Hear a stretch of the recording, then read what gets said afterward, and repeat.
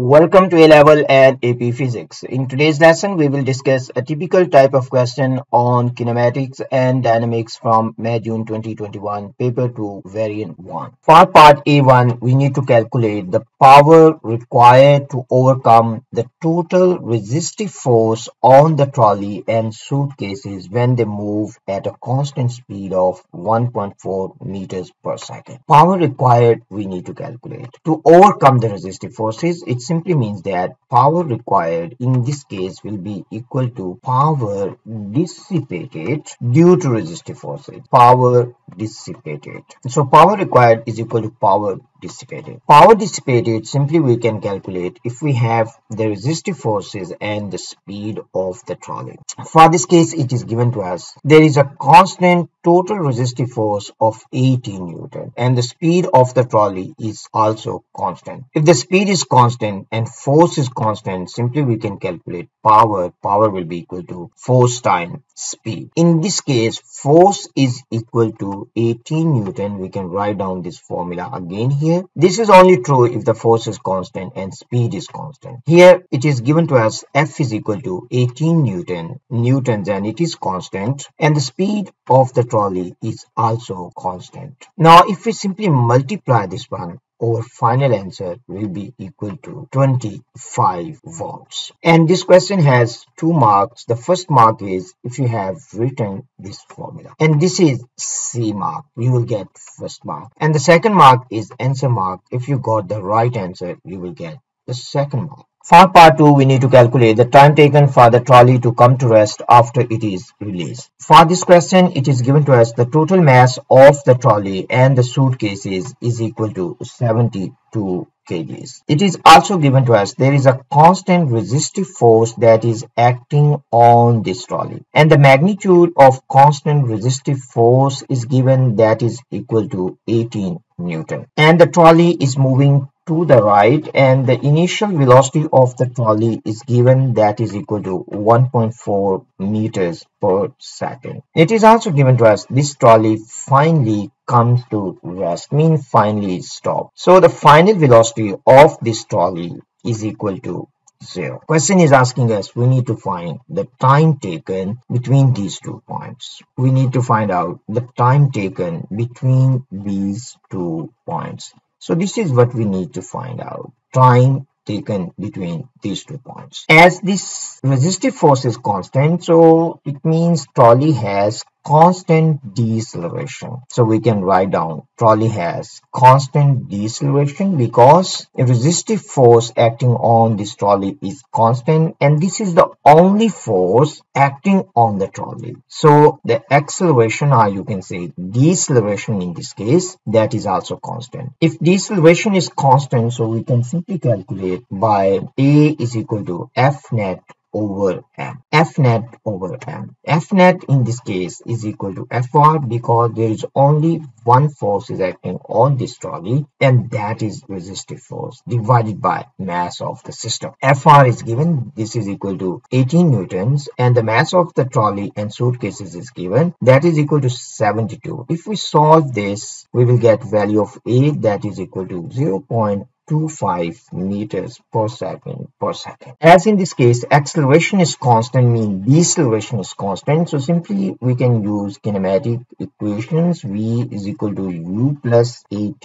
We need to find out time. So simply we can rearrange this one. This is V minus U over a. For this part, V is equal to 0. So simply we need to plug in these values and U is given that is equal to 1.4. We need to divide by A. A is deceleration. Means if we take to the right is positive. So AU is positive. But A is to the left. So this is direction of deceleration. So this is to the left. So this is also negative. So this is 0 0.25 but this is negative. So if we solve this then our final answer will be 5.6 second and this is the final answer. This question has three marks. So the first mark is if you have written this formula A is equal to F net over M. The second mark is if you have done this calculation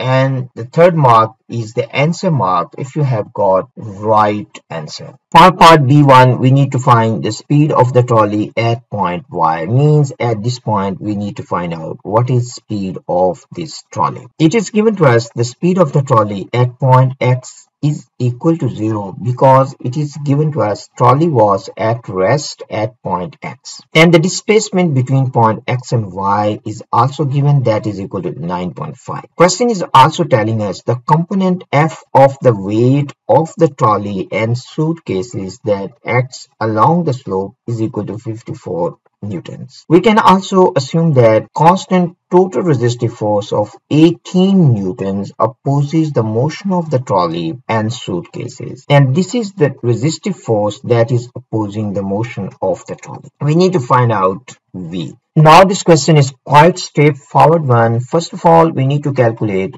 acceleration of the system that will be equal to F net divided by mass of the system. F net in this case will be equal to 54 minus 18 divided by total mass of the system that is equal to 72. If we solve this one 54 minus 18 that will be equal to 36 divided by 72 and this will be equal to 0.5 meters per second per second. And this acceleration is constant. So simply we can write down this is constant. As this acceleration is constant simply we can use 2as is equal to v square minus u square. Means constant acceleration. So we can use these kinematic equations. From here u is equal to 0 so simply this is given to us. This is equal to 0 we can write down from here v square is equal to 2as or we can simply say that v will be equal to root of 2as so simply this is v. Now we need to plug in values. A is given that is 0.5 and s is equal to 9.5 and simply we need to take the root of this. If we take the root of this that will be equal to 3.1 and this is the final answer. So the final answer is 3.1 this question has three marks. The first mark is if we have got the right value of acceleration. So this is first C mark. And the second C mark is if we have used this formula and we have plugged in these values. And the last mark is for answer if we have got the right answer. For part B2, we need to calculate the work done by F for the movement of the trolley from X to Y. We need to calculate work done by this force. The force and displacement, they are in the same direction, so we no need to worry about angle. We need to calculate work done by F, so we no need to worry about other forces as well. So we only need to consider F. We can simply say that W in this case will be equal to Ft and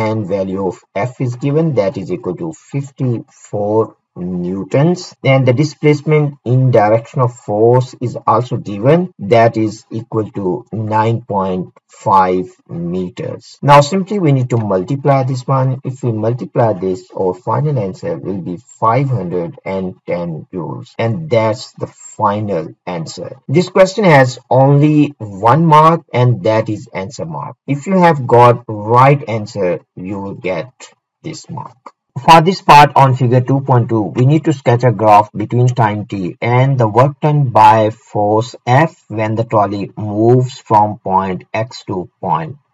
Numerical values of the work done and time are not required. It simply means we need to sketch. As the trolley moves from point x to point y, there is resultant force acting on the trolley and this trolley will accelerate and acceleration will be constant. So this is direction of acceleration. Question is asking us, we need to find the relationship between work done and time. In this case, F is constant, mean the magnitude of this force is is not changing but the displacement is increasing with time and displacement is equal to ut plus one half a t square. This trolley started from rest, so the u is equal to 0. So simply we can say this term will be equal to 0. Then we can write down d is equal to 1 half a t square. Now simply we can replace d here with 1 half at square. If you look at this one, a is constant, 1 by 2 is constant, f is constant. So simply we can write down 1 half fa, this is constant, times t square. w is equal to this. These quantities are constant, so simply we can replace them with one constant we can write down this is k times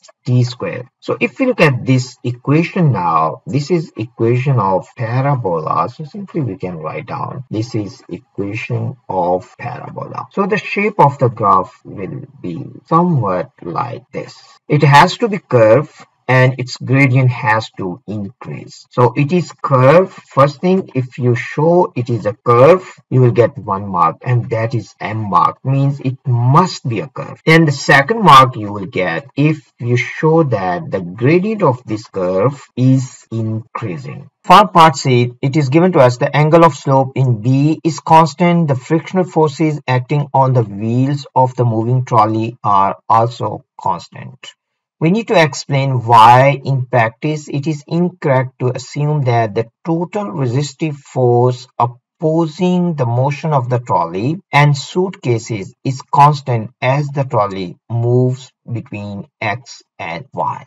Question is simply asking us why it is not correct to assume that total resistive force is constant means total resistive force is not constant. We have assumed in the previous part that total resistive force is constant but in fact total resistive force is not constant. So we need to explain now why total resistive force is not constant. Total resistive force simply we can write down total resistive force. Total FR, total resistive force, this is equal to friction plus air resistance. Friction and air resistance. So this is equal to these two forces total resistive force. Friction is constant. It is given to us. Frictional forces are constant. So this force is constant. But air resistance this depends on speed. And when the trolley is moving down the slope means when it is moving between x and y it is accelerating. So the speed is not constant. So speed is increasing. As speed is increasing air resistance is also increasing. So total resistive force is not constant. It is increasing as trolley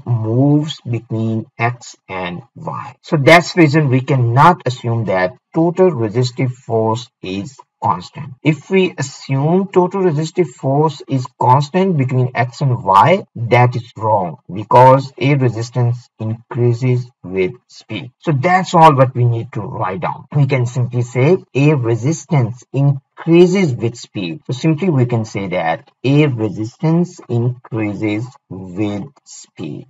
This question has only one mark. If you have written this, you will get one mark. And this is B mark. It has to be in your answer.